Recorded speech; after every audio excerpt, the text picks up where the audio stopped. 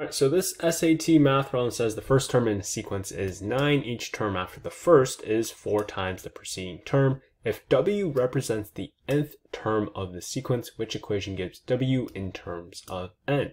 All right, so first off, let's just cross out two answer choices. It cannot be A or B because they have the value 4 represented as the starting term, and then they have it reversed with the 9 being uh, raised to a power, right? So because we know that the first term is 9, that is the starting value, right?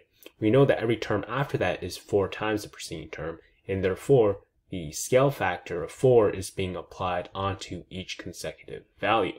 Therefore, we can't have that consecutive application of the 4 times the preceding term if it is outside the parentheses being squared by n, right? So it cannot be A and it cannot be B.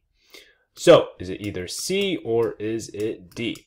Well, this is key information. It says if W represents the nth term, so W represents the nth term, and we know the first term right now is 9, right? So if we know the first term is 9, that means if we plug in 1 for n, we should get a value of 9, right?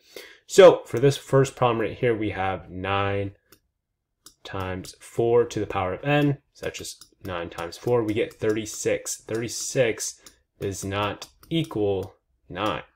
But for D, we get 9 times 4, oops, 9 times 4, n, which you know is 1 because it represents the first term. So 1 minus 1 is 0.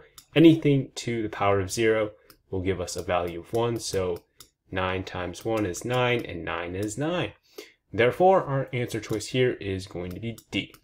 So yeah, that does it for the video, guys. Make sure you check out our other SAT prep videos, and I'll see you in the next one.